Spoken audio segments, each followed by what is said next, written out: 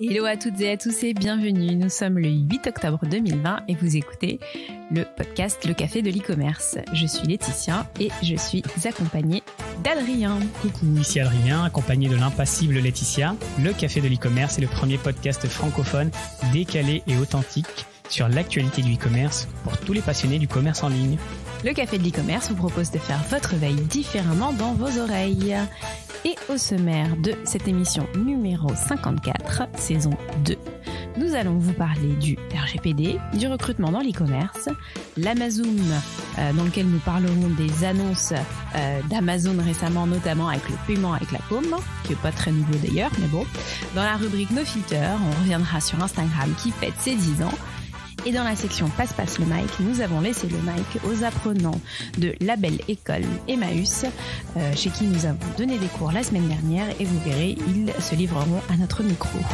Laetitia, Adrien, prêt Synchronisation des montres. La rubrique des news dont on ne va pas parler dans cet épisode, c'est la rubrique des news simples dans un format funky. Sun Blue a levé 140 millions d'euros. Honnet se déploie en Allemagne. Les Allemands vont, bien pouvoir, vont bientôt pouvoir payer en plusieurs fois.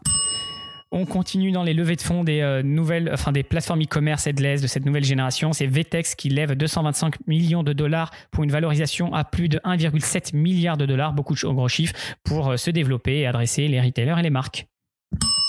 Redevenue indépendante, Birchbox France devient Blissim. La solution du marketing Imar6 euh, se fait racheter par SAP.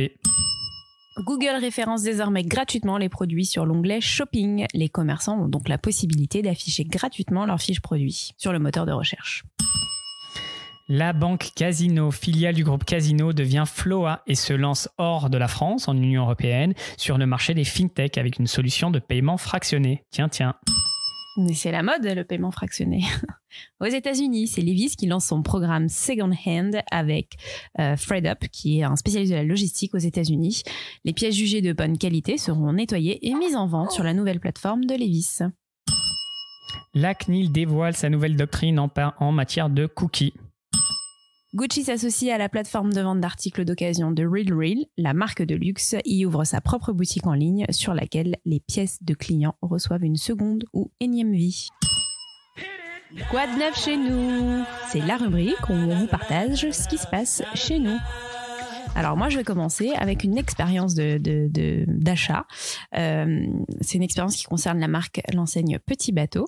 Ma fille m'est tannée pour un manteau que toutes ses copines avaient, et euh, lorsque je me suis rendue en boutique, eh bien le manteau n'existait pas dans sa taille. Euh, donc j'ai demandé à la vendeuse si elle avait en stock, et bien sûr, comme toujours chez Petit Bateau, il n'y a pas beaucoup de stock. En revanche, la vendeuse m'a proposé bah, de commander sur sur sa tablette. Donc bah, jusqu'ici tout va très bien, une tablette Samsung, un, sauf que bah moi j'ai constaté tout de suite les petites failles qu'il y avait. Lorsque je suis arrivée sur le formulaire, bah déjà euh, tout était déjà préenregistré de la cliente précédente. Donc j'avais accès à toutes ces coordonnées. Donc euh, bah euh, pas très GDPR friendly. Ensuite, lorsque j'arrive au paiement, bah moi j'ai voulu scanner, enfin prendre en photo ma ma, ma, ma, carte et ça n'a pas fonctionné. Donc j'ai dû rentrer les numéros. Et en fait, pourquoi je voulais, je préférais scanner, c'est parce que je ne voulais pas rentrer les numéros parce que je savais que déjà vu la précédente expérience avec le, le formulaire, il y avait de fortes chances que l'appareil enregistre mon code de carte bleue, enfin ma carte bleue. Et c'est ce qui s'est passé parce que par défaut, la tablette, le formulaire enregistrait par défaut euh, mon code de carte bleue. Donc euh, deux grosses failles. Euh, après, on était sur le site de Petit Bateau. En fait, c'était pas un système développé pour euh, l'expérience en boutique. C'était vraiment juste le site internet. Et en plus, ça prenait beaucoup de temps. Et en plus, pour recevoir la réception de confirmation de paiement, ça a mis 10 ans. Et pour recevoir la confirmation de bah, d'achat, ça a mis aussi 10 ans. Toutefois, j'ai trouvé que ce que la vendeuse m'avait proposé, bah, c'était un bon placebo. du coup, j'ai reçu deux trois jours après le, le, manteau pour ma fille, qui était ravie.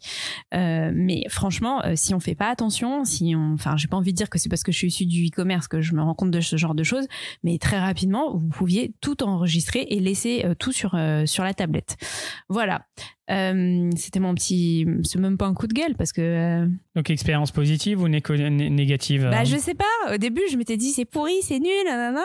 Après, je me suis dit bah non, quand même, j'ai mon manteau. Enfin, ma fille aura son manteau. J'ai pas eu à faire la queue en caisse. Et en plus, c'était un samedi, c'était blindé. Donc, donc j'étais plutôt contente. Après, je trouve que d'un point de vue technique et et, respect de la confidentialité des données, c'était pas ça, quoi. Hein. Et l'expérience, elle était simple, la manipulation? Ouais, c'était simple, mais j'avais l'impression que la vendeuse était pas très, très à l'aise en fait avec l'outil. Ouais. Alors qu'en réalité, on était juste sur le site de, de Petit Bateau. Hein. C'était même pas, je te dis, une app vendeur, pas du tout, quoi. Donc quel intérêt pour, pour elle? Tu aurais pu l'acheter toi-même bah, C'est ce que je me suis dit. Je fais, bon, en fait, j'aurais pu l'acheter moi-même, mais je sais pas, il y avait comme un gage de confiance du fait de le faire en boutique. Mais même si euh, tout ce que je vous dis n'est pas un gage de confiance, puisque j'avais très peur euh, de qu'on vole mes données. et t'as dû mettre ton identifiant et ton mot de passe sur l'ordinateur? Bah oui, mais après j'ai tout effacé. mais tu vois, elle m'a même pas dit euh, attention, voilà, par défaut ça enregistre, machin. Donc attention. La deuxième chose que je voulais évoquer avec vous, eh ben, je vais me confesser, j'adore l'influenceuse Lena Mafouf, aka Lena Situation. C'est une jeune, Adrien, tu ne la connais pas, du coup je la présente. Lena, c'est une jeune youtubeuse, elle a 22 ans et elle cartonne dans le YouTube game, mais à un point, t'as pas idée. Euh, Elena, en fait, je regarde toutes les semaines lorsqu'elle publie euh, ses vidéos. Et sa dernière vidéo, bah, ça, s'intitulait Paisible. Et donc, elle partait en vacances en Crète avec son boyfriend. Mais juste avant de partir avec son boyfriend en vacances, et bah, elle se dit, tiens, je vais faire du shopping en ligne. Et là, elle se dit, ah, mais j'ai beaucoup de vêtements à acheter, hein, euh, beaucoup de bikinis et de choses comme ça. Si je payais en plusieurs fois. Et là, bim, la nana nous fait une vraie pub pour, devine qui, PayPal. Et j'étais absolument pas prête parce que pour moi, PayPal, c'était pas, euh, enfin, l'outil euh, n'était pas destiné à des jeunes, enfin, à cette génération-là. Et la manière dont elle a, euh, elle a tourné le truc, ça paraissait mais tellement simple. Donc voilà, paiement fractionné encore et toujours via PayPal et dans une vidéo d'une youtubeuse. Donc je sais pas qui je dois féliciter, PayPal ou Lena ou ou tout le monde, mais en tout cas, c'était assez astucieux, astucieux, assez ingénieux et bah du coup, ça m'a même limite donné envie de tester le produit, enfin le service de PayPal de paiement fractionné. C'est étonnant parce que PayPal, ils n'ont pas trop d'intérêt à communiquer directement avec les consommateurs. Ils doivent communiquer avec les marques qu'ils mettent en place. Bah, c'est ce que je me suis dit.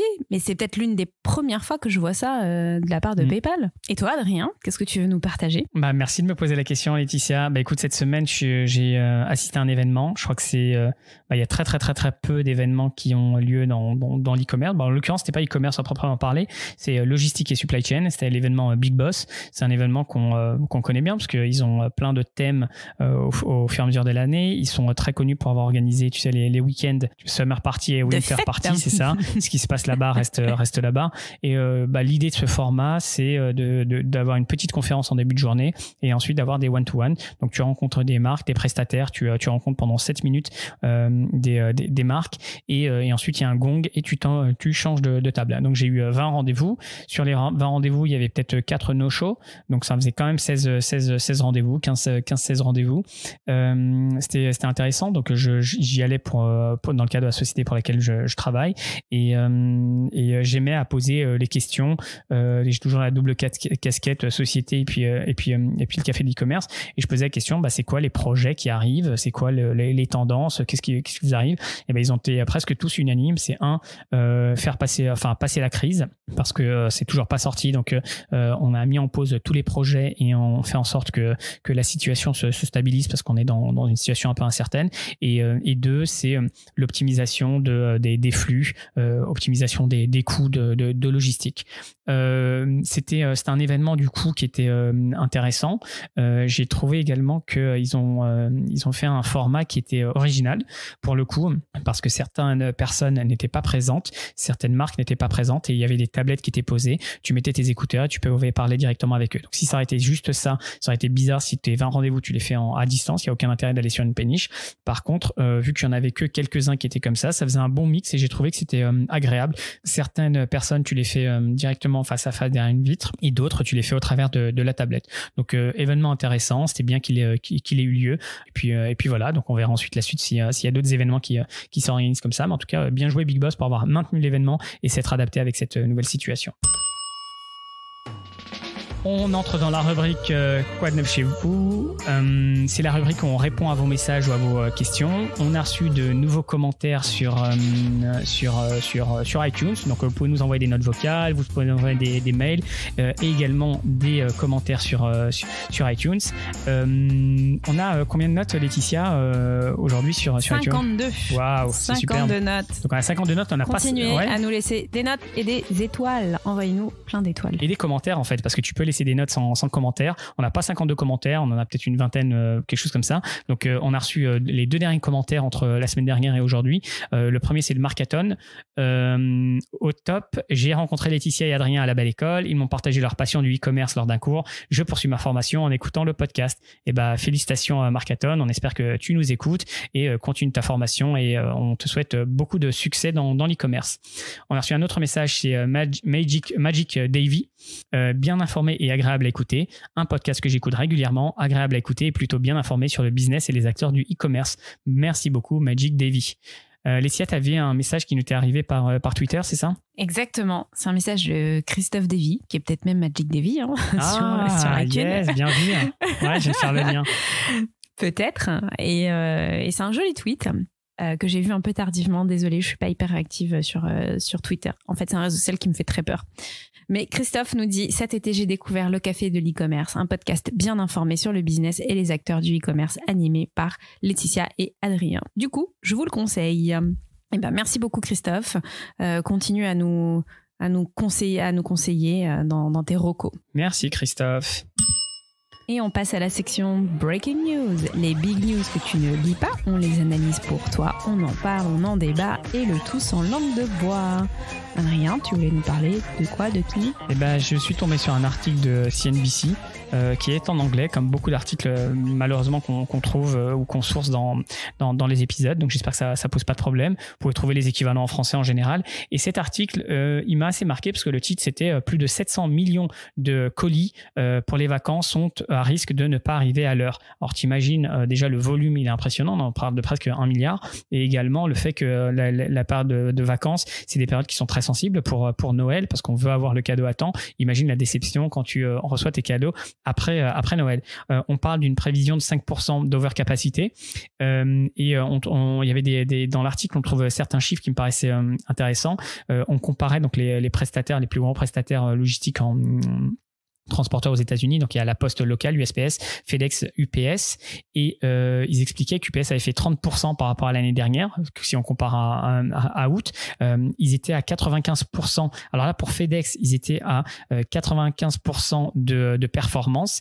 Et cette année, ils sont passés à 91%. Euh, en gros, tous les prestataires que j'ai cités, ils ont diminué leur performance, donc ils ont eu du retard euh, sur, entre la promesse de délivrer à, deux jours et, euh, et, la, livraison. Donc tout est en diminution. Ils expliquaient qu'au-delà de 95%, c'est là où tu commences à recevoir beaucoup d'appels et de craintes de la part des, des, des, internautes. il faut savoir aussi qu'on parle beaucoup d'Amazon. L'année dernière, ils avaient 95% en termes de, de, performance entre ce qu'ils qu prédisaient pour les, pour les consommateurs et la, la date de, livraison. Et euh, cette année, ils sont à 70%. Donc en fait, ils traitent des volumes monstrueux, mais il y a beaucoup, beaucoup de retard. On s'en rend peut-être pas compte quand nous, euh, quand nous on consomme, mais euh, avec, avec les pics, oui, on reçoit, mais il y a, y, y a, beaucoup de retard.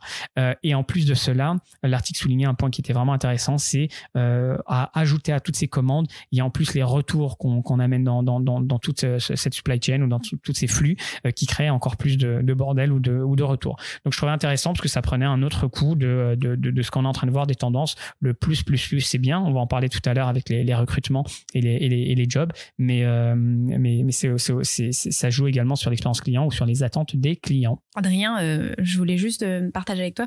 En fait, là, je pense que les, les retailers ont prépare déjà le, pic pour les cadeaux de Noël. Et je ne sais pas si vous avez vu et entendu, parce que euh, Amazon nous, euh, nous matraque notamment de publicité euh, à la radio ou sur YouTube pour nous, nous, nous, inciter à commander dès maintenant nos, nos cadeaux de Noël et à commencer bah, tous ces achats-là, notamment lors des prochains Prime Day là, qui arrivent le 12 et 13, je crois, et 14.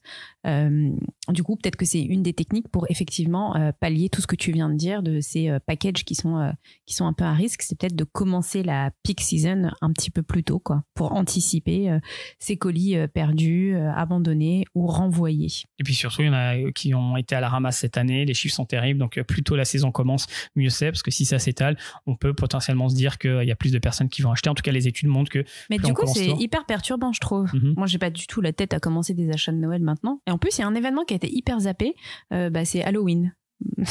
on, en, on, le voit nulle part chez, dans les enseignes, chez les retailers. rien du tout sur, sur ce. Ouais, on est début octobre. Ça va, ça va arriver peut-être dans une semaine, non? Mm, bah, Je sais pas, mais là, on dirait que tous les retailers sont passés directement à la case Christmas. Tu crois? Bah on, va, on va le voir parce que c'est à la fin du mois. Donc, on a encore euh, trois semaines. Je pense que dans une semaine, ça va se voir. J'ai vu quelques décorations dans la rue. On va voir si ça va prendre effectivement en ligne. Je prédis qu'à partir de mi-octobre, euh, voire Halloween, enfin Prime Day et Halloween, on va arriver dans la saison où euh, ça va être non-stop des, des, promos ou en tout cas de la communication pour, pour acheter parce que c'est très difficile pour l'ensemble des retailers. Ici, tu voulais parler de, RGPD. Alors, rends-nous RGPD sexy. Oui. Je suis très curieux. alors, je vais vous parler du RGPD, mais alors pas du tout de la manière dont, euh, euh, dont vous l'attendez. Je vous parle pas d'e-commerce. Je vous parle du RGPD dans les restaurants hier avant-hier, j'étais en, déjeuner et je devais justement écrire sur, euh, sur un restaurant mes informations. Et donc, c'était un business lunch. Et on s'est fait le commentaire de euh, c'est un super CRM qui sont en train de se construire parce que pour le coup, le restaurant, il n'a pas accès à ces données en principe. Et là, avec son cahier, euh, tu prends, bah déjà, c'est pas top parce que tu peux prendre une photo, mais à la limite, c'est même pas ça. C'est tu collectes tous les SMS et qui, qui traite la donnée, où est-ce que ça va, on n'en sait rien. Est-ce que tu veux nous parler de ça ou pas du tout? Exactement, c'est exactement ce dont je voulais vous parler. Donc en fait, contrairement aux bars, eh ben, les restaurants euh, qui sont situés en zone d'alerte maximale, comme nous ici en Ile-de-France, bah, ces restaurants-là peuvent rester ouverts à la seule et unique condition, c'est de respecter un, un, protocole sanitaire strict. Et c'est exactement ce que tu viens de dire, Adrien. Euh, bah, il faut que vous remplissiez dans un petit cahier euh, vos coordonnées. Donc vos coordonnées, c'est soit un mail, soit un numéro de téléphone associé à votre nom et votre prénom pas du tout GDPR compliant. Sauf que en fait, les restaurateurs doivent respecter une sorte de GDPR euh, pour être en accord avec la clean. Et ce que tu dis, c'est que euh, effectivement, euh, sur Twitter, moi j'ai vu plein de photos passer de gens qui ah, prenaient en photo et du coup on avait accès au numéro de tout le monde. Et tu as leur nom en plus. Donc tu vas dans des restaurants chics, etc. Ça peut vite être ouais. Donc moi, au-delà du fait que je me dis, ils se construisent un CRM gratos et on ne sait pas ce qui va se passer plus tard, je me dis quand même, il peut y avoir des gens hyper mal intentionnés pour avoir, euh, pour avoir vos coordonnées. Moi, ce que j'ai fait, c'est qu'en fait, je change le dernier numéro et surtout, je ne donne pas mon vrai nom. Mais tu as le droit de ça voilà. C'est une obligation de donner ses euh, coordonnées. Je ne sais pas. Ah, voilà, ok, mais, dénonce, ok. Euh, mais on a no la way que je laisse mon on va truc. et en fait, il y a une petite spécialité, euh, euh, comment dire, spécificité, c'est que en fait, euh, les obligations du RGPD s'appliquent à ce petit cahier là que vous avez tous rempli si vous êtes sortis, et le, le, cahier il doit être rangé dans une, armoire fermée à clé. Alors ça, je ne savais pas du tout, mais en fait, ça doit pas rester au vu et au-dessus de tout le monde. En fait, ça doit être rangé et ça doit être caché. Et à chaque fois que vous rentrez, bah, ce cahier doit être sorti. Ce qui est juste impossible à faire, en fait. Et on se rend bien compte que c'est absolument pas respecté et que euh, bah, euh, la loi euh, est pas vraiment bien ficelée par rapport à ça. Et surtout, une petite donnée très importante, c'est que les données devront être détruites dans un délai de 14 jours. Et moi, je suis pas certaine que les restaurateurs déjà vont y penser, euh, parce qu'au-delà, enfin, avant de dire qu'ils sont en train de se construire un CRM et qu'il y a des gens euh, malveillants, est-ce que dans 14 jours, euh, les, restaurateurs vont dire, allez, je vais, je vais brûler mon, truc? En plus, je crois qu'ils doivent utiliser un broyeur et, enfin, vraiment, c'est hyper bien défini. Ils doivent utiliser un broyeur et ne pas jeter dans la poubelle, dans une poubelle commune, les, les, les données qui ont été broyées. Bon, tout ça pour dire qu'en fait, le e-commerce influence beaucoup euh, euh, bah, euh, la loi et ce qui nous arrive là en ce moment, ce qu'on vit en ce moment, mais que bah, c'est hyper compliqué de l'appliquer. Euh, dernière news qu'on a sélectionné pour, pour cette semaine dans la section Breaking News, je voulais parler des recrutements dans, dans l'e-commerce qui sont en plein boom. Donc, c'est un article de, sur euh, comarketingnews.fr. Et euh, ce qui était amusant, c'est qu'il y a certains métiers euh, qu'on qu'on soupçonne pas d'être si, si importants pour, pour la saison, justement, pour la, croissance de l'e-commerce. Donc, ce qu'ils ont fait, c'est qu'ils ont l'étude, elle a regardé sur les emplois qui ont, les métiers qui recrutent le plus grâce à l'e-commerce en octobre 2020. Et tu as une liste de 10, donc je vais te les, je vais te les euh, les, plus gros avec les offres d'emploi avec 25 000, c'est les agenteries, donc c'est les préparateurs de commandes. Donc typiquement, quand tu, euh, quand tu achètes en ligne, il y a quelqu'un en back-office qui va prendre, euh, prendre le produit et puis le, le, préparer, le mettre dans un, dans, un colis. Ce qu'on appelle le picking chez Amazon. Hier, dans, une conférence, je crois que c'était justement chez les Big Boss, elle expliquait que ça prenait 7 fois plus de temps. Ça me paraissait beaucoup quand même, mais ça doit être, ça doit être vrai. Ça prend 7 fois plus de temps de préparer une commande en ligne qu'en magasin. Parce qu'en magasin, tu la prends et tu peux la, la, donner directement. Donc il y, a, y, a, beaucoup de, de travail qui est nécessaire ici en, en back office euh, logistique. Tu as ensuite le développeur informatique, le cariste. Est-ce que tu sais ce que c'est ce que, le cariste, Laetitia?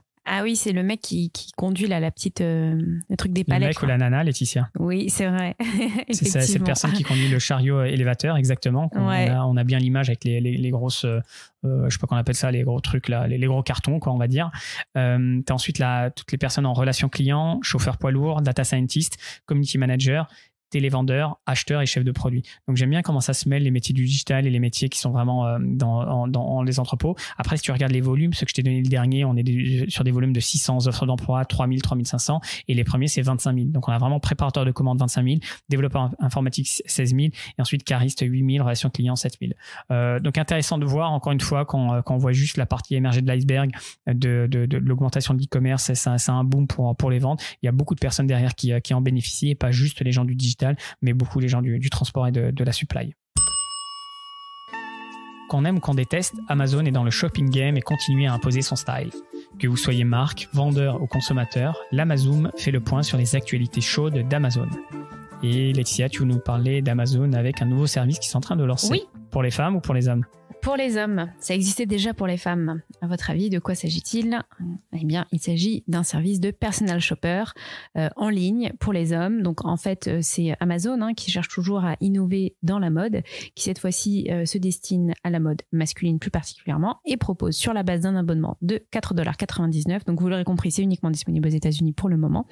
Pour 4,99$, eh bien, messieurs, vous pouvez recevoir un colis qui a été préparé par un personal shopper, un personal shopper qui n'est pas euh, physique, mais qui est alimenté par de l'intelligence artificielle, par de l'IA. Euh, ce personnel, euh, ce service s'appelle Personal Shopper by Prime Wardrobe. Donc en fait, euh, c'est le dressing de du personal shopper de d'Amazon Prime. Je vous le disais, c'est boosté par une intelligence artificielle qui se charge de sélectionner pour vous jusqu'à 8 pièces de vêtements qui correspondent à votre style. Donc ça veut dire que préalablement, bah, vous avez donné à manger à l'intelligence artificielle en disant bah, ce que vous aimez, ce que vous n'aimez pas, quel est votre style. Et puis vous recevez votre petit colis avec des articles que euh, vous pouvez garder ou renvoyer. Et en fait, euh, bah ça, ça existe déjà, hein, rien de nouveau. hein. Là, pour le coup, euh, j'ai pas envie de dire bravo l'innovation Amazon, ça existe déjà. Il y a plein de startups qui qui le font. En France, j'en ai des tas en tête, mais qui s'adressent bien souvent à des femmes. Et là, c'est un modèle économique qui repose sur, qui repose bah, sur, euh, euh, sur un, abonnement, ce qu'on appelle de la subscription economy. Donc, euh, bah, tous les mois, vous êtes prélevé, vous recevez votre petit colis. Et du coup, bah, c'est une formule qui s'avère assez payante, en tout cas pour les femmes, pour, pour Amazon, puisqu'à son actif, Amazon compte 3,5 millions de clients pour le personal shopper féminin. Est-ce que ce sera aussi apprécié chez, chez les hommes? À voir. Le festival continue avec Amazon qui, euh, a fait beaucoup parler de lui. On l'a beaucoup vu dans les news avec euh, un lecteur de paume sans contact. Donc le, nom du service ou ce produit s'appelle euh, Amazon One. Et euh, l'idée, c'est euh, toujours dans cette idée de distanciation, de contact, de pas avoir de, contact. On va pouvoir euh, passer la main au-dessus de son scanner pour pouvoir euh, payer. Pour le moment, c'est en test dans deux. Enfin, c'est en test, c'est pas en test, c'est en prod dans deux euh, Amazon Go, les magasins qui sont euh, euh, les magasins Amazon où euh, tu, tu, tu, tu, tu, tu peux prendre les produits directement et sortir du, du magasin. Euh, ils prévoient de le déployer dans d'autres magasins Amazon Go et ensuite dans leur euh, chaîne Whole Foods, euh, la chaîne de magasins qu'ils avaient, qu'ils avaient acheté. Donc on va voir comment ça se, ça se développe. Tout à l'heure en intro, tu disais que rien de neuf sous le soleil parce que tu il y avait déjà eu quelque chose. J'ai dû louper ça. Mais en fait, on l'avait déjà couvert cette news il y a. Je suis Ouais, pas sûr que ouais, soit avec ouais. la paume. hein. C'est moi qui en Si avais parlé. Si, c'était avec la paume. Et, euh, et c'était, je pense, il y, a, il, y a, ouais, il y a un an. C'est pour ça que j'ai rien neuf sur le soleil. Et je pense que ça avait été un petit peu mis en stand-by bah, avec, euh, avec le Covid. Et que là, du coup, mais c'est, euh, ça peut paraître être l'innovation du siècle. Bah, si tu l'imagines, ensuite, tu peux le mettre partout dans les transports, etc., dans ta salle de sport. Mm. Donc, je sais pas dans quelle mesure ça peut s'appliquer en dehors de l'écosystème Amazon. Parce que là, il faut, juste pour expliquer, il faut associer la main à, à l'app qu'on a sur le, sur le téléphone, tout comme tu associes la carte à ton, à ton app. Et ensuite, il est capable de le reconnaître. Et les informations qu'il communique, c'est tout autour de la sécurité. Il passe plus de temps à expliquer la sécurité que, que la techno parce que tout de suite, tu flippes euh, où va être la donnée, comment ça va être traité, euh, si on se fait hacker, etc. Bon, on va voir comment ça va, ça prendre. En tout cas, je trouve ça intéressant l'usage euh, et je me vois bien utiliser ma main pour, pour payer. Je trouve ça encore plus, plus, plus pratique que, que le téléphone ou une CB. Tu voulais nous parler d'Amazon, euh, Laetitia, qui, euh, qui se change de nom et qui s'appelle Carrefour, c'est ça? Exactement. C'est Carrefour qui s'associe à Amazon en Espagne. Donc Carrefour teste euh, la vente d'articles de sa propre marque de vêtements, Tex, sur la plateforme Amazon. Donc en fait, j'ai un peu fouillé et effectivement, lorsque vous allez sur Carrefour, carrefour.fr, vous ne pouvez pas acheter de mode, enfin de vêtements sur le site. et là, très malin pour Carrefour qui se dit, allez, moi j'externalise tout et je mets tout chez Amazon. Très malin aussi pour Amazon qui du coup a un catalogue supplémentaire, des marques supplémentaires et du coup euh, la possibilité euh, d'avoir bah, des clients euh, Carrefour qui consomment autre chose que de la nourriture. Donc à voir et c'est uniquement en Espagne pour le moment. Et enfin, dernière news qui est une non-news parce qu'ils n'ont pas encore le permis de construire, mais c'est Amazon qui projette de construire un méga entrepôt euh, près, de, près de Nantes. On verra, ça pourra potentiellement embaucher entre 1000 euh, et 2000 personnes. Euh, beaucoup de personnes s'y opposent, des, militants écolos. Donc c'est encore très early stage. On va voir s'ils vont avoir les autorisations et si ça va se faire, ça va prendre encore un petit peu de temps. C'est la rubrique No Filter, la rubrique sans filtre de l'actualité des réseaux sociaux où les likes et l'argent sont monnaie courante. Laetitia, tu veux nous parler d'Instagram Et eh oui. Que j'ai désinstallé cette semaine d'ailleurs. Ah, ben pourquoi? Parce que c'est une nouvelle vie qui commence, euh, nouvelle coupe de cheveux, nouvelles applications, nouvelle vie. Ok, très bien. Bon, bah écoute, tu ne fêteras pas les 10 ans d'Instagram parce que cette semaine, euh, je, crois que c'était euh, hier, non, c'était le 6, Instagram a fêté ses 10 ans. Et donc, je suis tombée sur un super article du blog du modérateur qui recense les, euh, bah, les 10 dates clés euh, d'Instagram. Et euh, bah, du coup, je vais vous les citer, puis je vais peut-être même te poser des questions, Adrien. Alors du coup, si ça a 10 ans, ça a été créé quand, Instagram?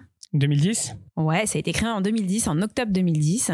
Euh, et à la base, bah, c'était pas le Instagram qu'on connaissait. C'était une version un peu euh, euh de, euh, comment on va dire, les fonctionnalités se rapprochaient plus de Foursquare. Je sais pas si tu te souviens de Foursquare, ce que c'était comme, comme app. Bah voilà, ça se, ça, ça, se rapprochait beaucoup plus de ça. Donc rien à voir. Rien à voir. Et finalement, Instagram s'est dit, on va se rediriger uniquement sur de la photo et surtout avec une valeur ajoutée qu'on ne retrouve nulle part, les filtres à l'époque. Hein.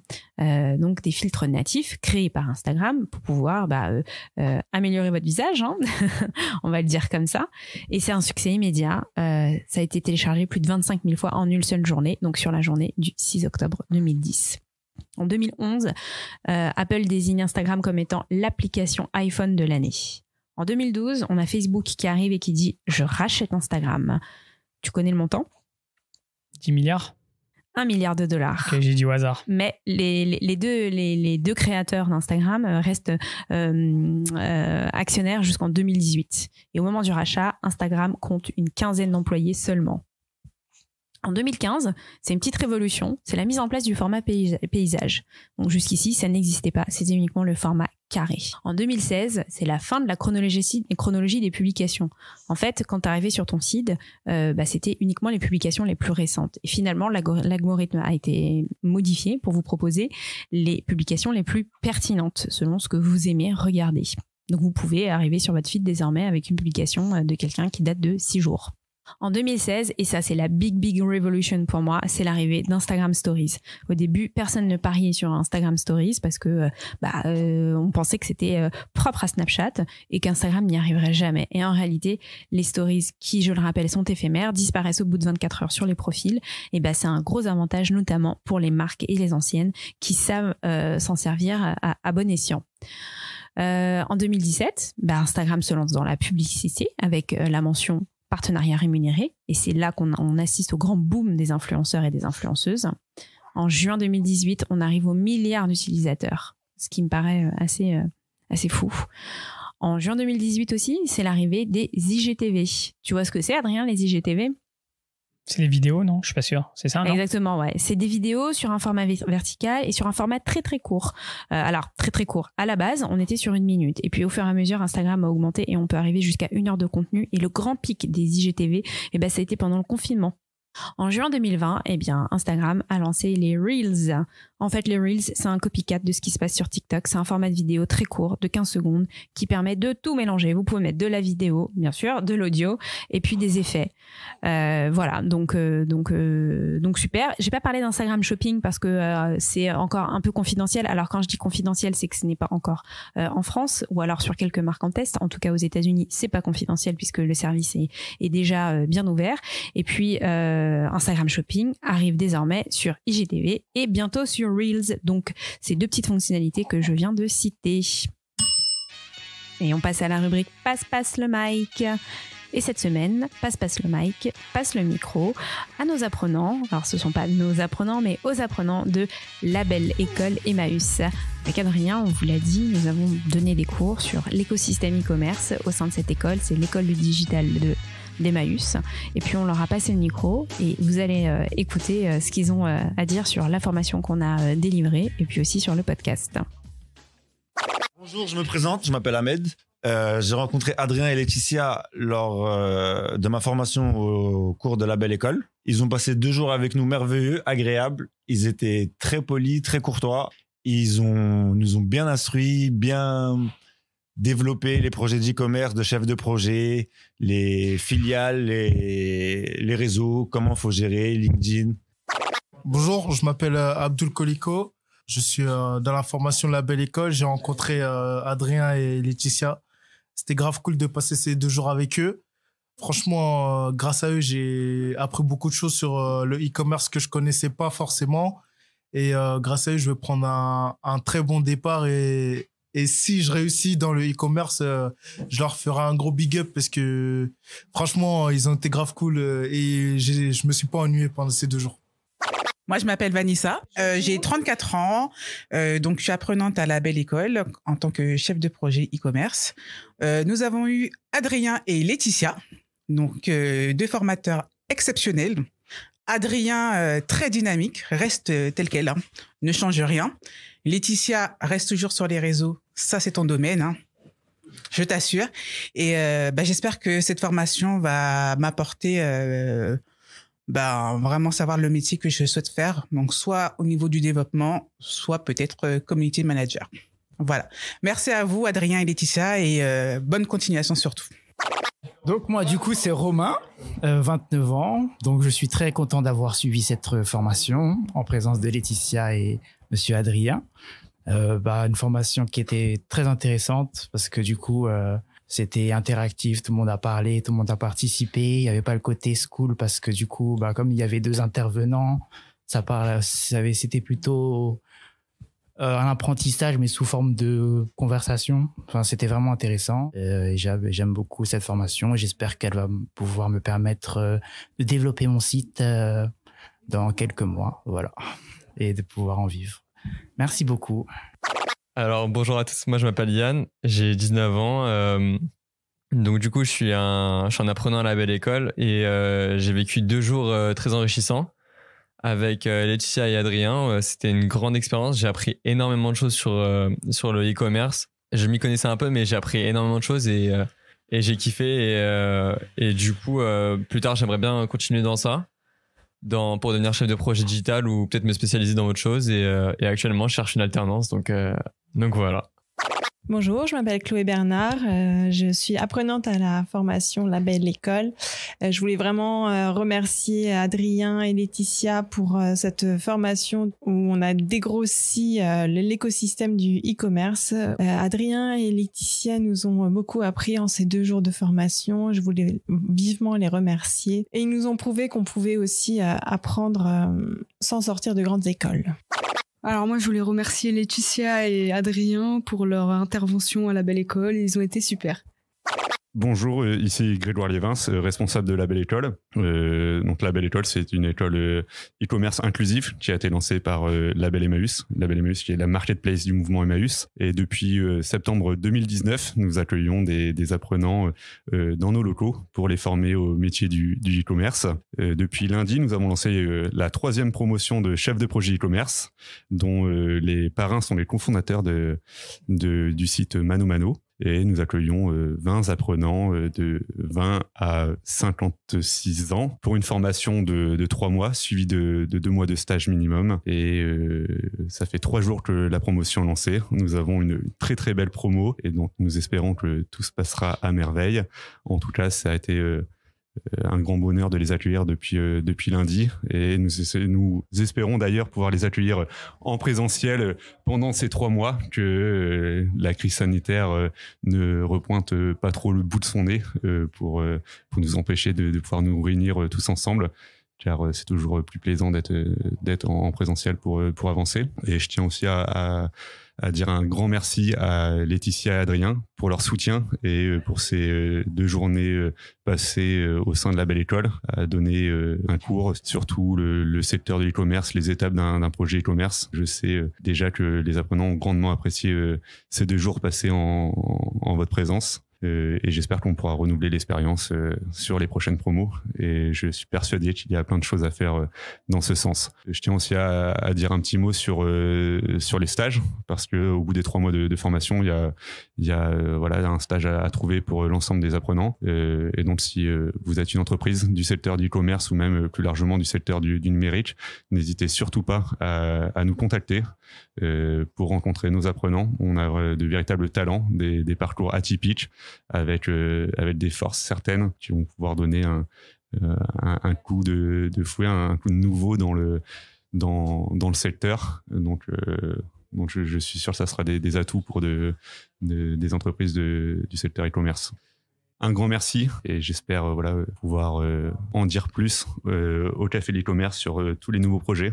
Parce que nous avons aussi de nouveaux projets la création d'une agence interne à la Belle École pour pouvoir accueillir euh, des apprenants qui auront fini euh, leur formation sur euh, une durée de un an pour avoir une première expérience en agence, d'être vraiment une véritable agence, agence web, de pouvoir répondre à, des demandes de, clients et, de pouvoir aussi permettre aux apprenants de se faire la main sur de véritables projets.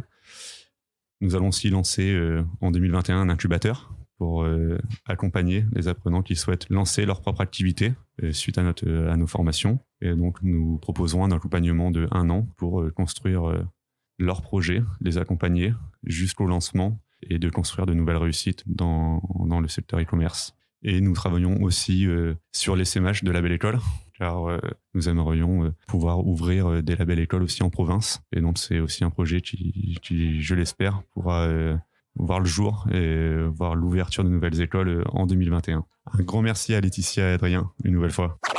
Merci encore à eux pour ces, euh, pour ces, pour ces jolis messages. Euh, si vous êtes euh, une marque, une enseigne, une agence et que vous cherchez des stagiaires, ils vont sortir de formation dans deux mois et ils seront à la recherche de, stages. Donc n'hésitez pas à les contacter ou à nous contacter. On mettra les liens vers, dans, dans les notes de l'émission. Ils sont tous super motivés, ils ont des, compétences et ils ont très faim. Donc contactez-les vous serez très agréablement surpris. Et on leur souhaite beaucoup de courage. Et je sais qu'il y en a beaucoup qui nous écoutent. Donc on vous fait des coucous et un gros bisou. Big up à vous les apprenants. C'est tout de suite la rubrique Roco Micro Micro Roco. Au micro, on fait notre Roco. Écoutez-la, illico presto. Adrien, quel est ta Roco de la semaine? Tu vas pas me croire. Non, je veux pas te croire. eh ben, c'est un rap. Eh ben ouais, pour changer, je change de, podcast. Là, je voulais faire une petite recommandation un petit peu Alors, Adrien s'est rasé les cheveux, il a désinstallé Instagram, back to, to, to the roots. Ouais, c'est Strip rap, vas-y. Euh, bah, en fait, c'est un rap Shopify. Donc, c'est euh, un, un, artiste qui, euh, qui a fait ça. Euh, et donc, tu as les paroles, c'est très facile à comprendre. Et c'est tout simplement un rap e-commerce. Donc, je vous j'ai mis le lien. Je trouve ça hyper fun. Exactement. Faut le voir pour le, pour le croire. Et il t'explique ah, les différentes étapes. C'est une vidéo rap. En fait, c'est un clip, un rap clip. Et euh, le, le, gars t'explique que si tu veux, je vais pas rapper, mais bon, si tu veux une boutique, tu dois d'abord avoir une idée, ensuite le packaging, ensuite le truc et machin. Et en fait, il te fait un petit un mini cours. Non, non, c'est en anglais. Euh, ça s'appelle Shopify Rap et euh, c'est c'est bon, c'est e-commerce rap. C'est euh, peu importe Shopify parce que le refrain il y a Shopify, mais en fait, il donne les différentes étapes d'une d'un rap. J'ai trouvé ça très très fun. Je vous recommande pour se marrer, pour pour sourire avec un peu de, de légèreté. Et puis on l'écoute en fond pour pour, pour dans, dans les bureaux e-commerce pour se marrer. Laetitia, ah, toi tu voulais nous faire une recommandation un peu plus sérieuse? Ah, c'est moins marrant. Ouais, c'est moins marrant, Marocco. Je vais vous parler du, du, docu dont tout le monde parle qui s'appelle The Social Dilemma en français derrière nos écrans de fumée sur Netflix. Euh, alors je l'ai, je l'ai regardé. J'ai été, euh, allez, je suis assez partagée en réalité. Euh, en gros, le documentaire euh, interview euh, un peu les pères fondateurs ou en tout cas ceux qui ont euh, participé à cet écosystème qu'on appelle nous nos filters, mais l'écosystème des réseaux sociaux.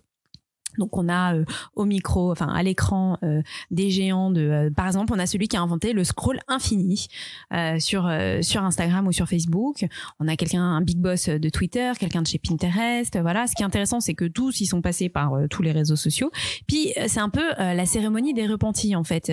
Ils sont là à nous expliquer que c'est pas bien ce qu'ils ont créé en fait. Ils ont créé une méchante bête folle, Frankenstein, qui est là à nous prendre du temps, de l'argent, nos cerveaux, parfois à tuer même euh, nos gamins, parce qu'en fait, euh, ce documentaire est, euh, est un peu étrange parce que en parallèle, vous avez une espèce de mise en scène au sein d'une famille qui utilise des réseaux sociaux. Donc la maman a son avec ses usages à elle et les enfants avec leurs propres usages.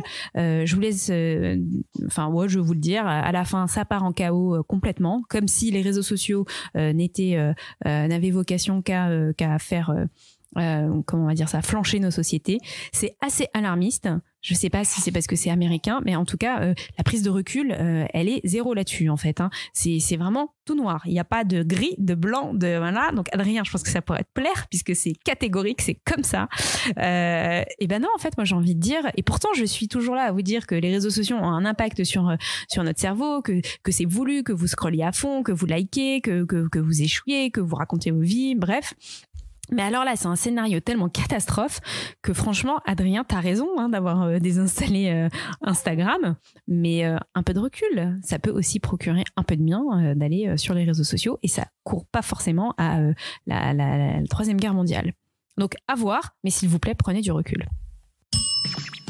Et c'est la rubrique Le panier surprise. Le panier surprise, c'est la rubrique de fin, celle où on se détend et on s'amuse. Adrien est comme d'habitude le maître du jeu, le masterpiece. Il aime tout contrôler et s'amuse autour des sujets du digital. N'hésitez pas à vous prendre au jeu et à participer de votre côté pour trouver les réponses plus rapidement.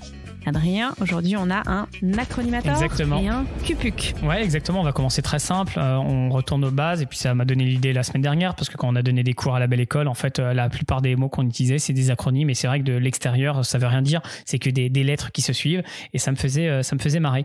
Euh, J'en ai trois pour toi en acronymateur qui sont normalement très simples. Le premier, c'est euh, Mhm. SLA. SLA, est-ce que tu sais ce que c'est? Hmm, je connais LSA, mais LSA, c'est un truc de, de, de Matrix. Alors SLS, c'est Service Level Agreement. Et en fait, c'est euh, les plateformes cloud ou les solutions, elles ont un DSLS, c'est euh, les temps de performance garantis, si, euh, si tu veux. Et un. SLS serait tu par me laisses même pas trouver, ça veut dire que là, je, je dis un truc, euh, c'est mort. Voilà, T'étais parti dans euh, une direction, c'est des métriques, c'est quelque chose. Bah, c'est ce que tu, dis, bah tu voulais oui. dire Non, mais euh, j'imagine. Et en plus, j'ai pas tort. Bon, vas-y, c'est un truc de performance. Donc le SLS, c'est euh, c'est l'engagement contractuel que tu vas avoir entre un, un fournisseur et son, et son client. Ça peut être sur la qualité de service, la disponibilité. Le plus classique qu'on voit, c'est la disponibilité pour les clouds. On te dit qu'on est disponible, enfin que le cloud est disponible à 99,99% par exemple, ou 99,999999. Et euh, si jamais tu descends en dessous de ce SLA, tu as des pénalités ou tu as des, des crédits. Donc SLA, c'est quelque chose qu'on trouve pas nécessairement dans l'e-commerce en tant que tel, mais dans tout, euh, tout, tout ce, ce système euh, informatique. Deuxième acronyme, euh, Laetitia, après cette victoire haut la main du, du SLA que tu as deviné euh, tout de suite, euh, l'UGC, c'est pas les cinémas. Ouais, c'est pas les cinémas. Non, mais c'est connu quand même. User Generated Content. Qu'est-ce que ça signifie? Contenu créé par les utilisateurs. Et donc, tu peux me donner un exemple? Bah, euh, je sais pas, moi, par exemple, euh, qu'est-ce que je peux te donner comme, euh, comme truc? Bah, Sur les réseaux sociaux, Exactement. par exemple. Le réseau social, c'est le, c'est le modèle classique. Donc, euh, un exemple adressé à l'e-commerce, ça pourrait être sur les fiches produits. Tu vas avoir euh, des, des photos d'utilisateurs avis, qui vont montrer, photos, ouais. qui vont montrer comment ils l'ont utilisé. Bah ça, c'est de, c'est de l'UGC. Des commentaires, ça va être de l'UGC parce que c'est pas la marque qui le produit, mais c'est le compte, le, le- qui va le, qui va le, le- produire ce contenu. Et en fait, c'est tout bénef pour la, pour la marque parce que ça va créer du contenu, donc ça va alimenter, euh, en tout cas habiller peut-être une page. Pour le référencement naturel, le contenu, on sait que c'est bien, surtout s'il y a les, les, les bons mots clés. Et puis s'il est positif, ça peut même convaincre les, des, des- prospects pour, pour acheter ou les consommateurs à, à acheter. Donc l'UGC bien utilisé, c'est, euh, c'est très bien. Mais il faut euh, pour, pour, le- pour, le- pour le créer, ou, enfin, faut l'animer, il faut avoir une vraie stratégie. Exactement. Et, euh, il faut, faut, faut les bons outils pour de modération également. Dès qu'on parle d'UGC, c'est di- très lié ensuite à, à la modération. Et enfin, euh, troisième euh, acronyme, Laetitia, ESP. Non, je sais pas. On l'a vu la semaine dernière en cours. Ah mince. Alors attends, attends, attends. T'écoutais pas, t'étais près du Euh, radiateur. Ouais, j'avais froid. Euh, non, non, mais oui, oui, oui. Ben, je sais pas. Vas-y, dis. En plus, pour toi, c'est la honte si tu sais pas. Bah écoute, c'est ESP, c'est Email Service Provider. C'est tout un gros mot pour euh, juste dire euh, solution de solution d'email. Ouais. Solution d'emailing, quoi. Allez, vas-y. Personne ne dit ESP. Hein. Tu as encore gagné, Laetitia. Sinon, tu vas pas être content. Donc, tu as gagné, tu as tout réussi. Bravo. Et je te propose de passer directement au deuxième jeu, le euh, Cupuc. Donc, le Cupuc, pour les Allez, personnes qui nous, euh, qui nous rejoignent, qui ne connaissent pas, c'est le question pour un champion. Euh, L'idée, c'est d'avoir une description et d'essayer de trouver le plus rapidement possible. Donc, prêtez-vous au jeu. Essayez de trouver le, le- plus vite possible euh, la référence, le mot que je euh, recherche. Laetitia, est-ce que tu es prête? Allez, je suis prête. Fondée en 1970 en France, je suis une marque bien connue en France. Je suis racheté dans les années 90 par un grand groupe et mon fondateur qui a donné son nom à la marque quitte la société dans ces années-là. J'ai près de 2 millions de followers sur Instagram. Je vise une clientèle jeune, 20-40 ans, même si dans la réalité les acheteurs sont sûrement plus âgés. J'ai eu de nombreuses égéries telles que Louise Bourgoin ou Britney Spears. En ce moment sur mon site, j'ai une campagne avec la WWF pour la défense des animaux. J'ai une marque mode et l'autre parfum avec des produits phares comme Jungle, Amour, Flower ou L'eau. J'appartiens au groupe LVMH et mon logo contient le mot Paris. Pardon? Non, mais la honte, je sais pas. Et mon logo contient le mot Paris dans la dernière lettre, le O. À consonance japonaise, je porte le nom de mon créateur. C'est quoi la réponse Kenzo, ouais. D'accord. Donc je porte le nom il est de mort cette semaine. je porte le nom de mon créateur Kenzo Takada. Je suis Kenzo, en hommage à Kenzo effectivement qui est décédé suite du Covid. ça. Je voulais faire une petite, euh, Covid, une- un petit hommage et euh, c'était la belle marque. Et c'est vrai, bah, t'as raison de le préciser. Kenzo, c'est absolument pas une marque japonaise, hein, c'est une marque française. Ouais. Et Il était venu s'installer en euh, France ou, euh, ou- étudier et puis il avait euh, créé la marque. Kenzo, c'est une marque qui est assez mature et qui a fait beaucoup de choses, qui fait beaucoup d'innovation. J'ai eu la chance de bosser avec eux dans, Mm. dans le passé. Et bah, moi euh, aussi. Donc voilà, on leur souhaite bon courage. Bon, de toute façon, ils sont. Mais c'est vrai ce que tu dis, ils ont fait un, un shift assez important bah, au moment de leur replatforming, comme on dit. Euh, et, euh, et effectivement, ils s'adressaient plutôt à une clientèle un peu plus âgée. Et puis, euh, il y a eu un petit boom dans les années 2014-2015, notamment avec ce fameux suite. Je sais pas si tu vois lequel c'est, avec le, le tigre. Oui, oui, c'était. Ouais, je crois savoir. Gros tigre sur fond noir, non, c'est pas ça? Euh, ouais, c'est ça qu'on voyait sur des pulls, sur des casquettes. euh. Ouais. C'était la street qui portait, qui portait ça. Bon, en tout cas, euh, encore une fois, euh, bien joué, euh, gagné. Même si t'as perdu, t'as gagné. Parce que sinon, je vais me faire engueuler. Bah, félicitations. Non, mais j'ai trouvé, mais fois. à la fin, quoi. Quand j'ai donné le nom du créateur, t'as trouvé. RIP. Kenzo, quoi. Ok. Bon, en tout cas, un petit hommage, un petit hommage à lui. Merci beaucoup à tous et à toutes d'avoir partagé avec nous ce moment. Pour retrouver les références de cet épisode, rendez-vous dans les notes de l'émission sur le site Le Café du Commerce. Profitez-en pour euh, vous inscrire, vous connecter. Euh, vous avez un petit lien également dans les notes pour nous euh, contacter directement euh, de manière totalement anonyme. Vous avez également un lien pour rejoindre notre groupe WhatsApp. On est une soixantaine de personnes, on échange sur les news, des news des fois qu'on aborde dans, dans l'émission ou d'autres qu'on qu'on n'aborde pas. Et si vous avez des questions, vous pouvez nous contacter via ce biais-là également. Merci. À très bientôt. À la semaine prochaine.